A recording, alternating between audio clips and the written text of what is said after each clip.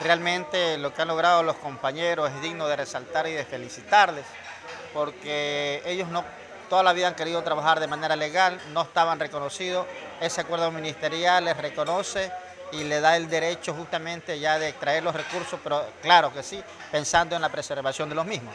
Entonces, a ellos se les felicita. Hay logros realmente que, que no se han dicho antes y que esta sucesión lo ha realizado. El tema también de la veda definitiva del espóndilo.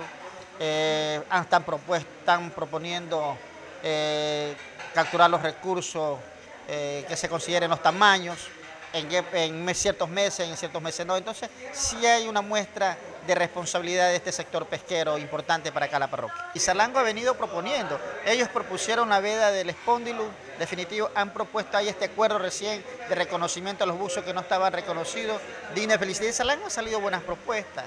Eh, también el sector pesquero eh, artesanal de los armadores de barcos también presentaron su propuesta de ley ante la nueva ley de, de pesca que está discutiéndose.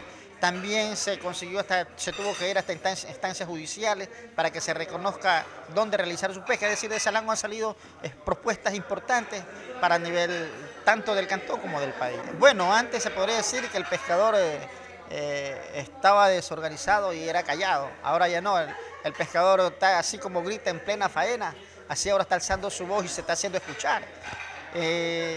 Entonces, y también ya es propositivo, ya el pescador ya no está solamente que vengan de, que se dicten las leyes, eh, los acuerdos, las resoluciones solo en escritorio, sino que también dice, hey señor, esto me está afectando, yo propongo que sea esto así. Y, esa propuesta lo hace en vista de que se vive el diario al día a día, pues entonces, y qué más que el que vive de la actividad proponga qué es realmente lo que le puede, lo que le está afectando y lo que le puede también favorecer en el futuro, preservando las especies.